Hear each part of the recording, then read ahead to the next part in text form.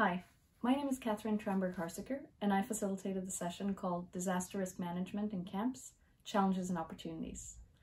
In this session, the participants were asked to reflect on what natural hazards affect the camp settings where they work, and what can be done to manage the risks arising from these hazards and the vulnerability of the people that live in the camps.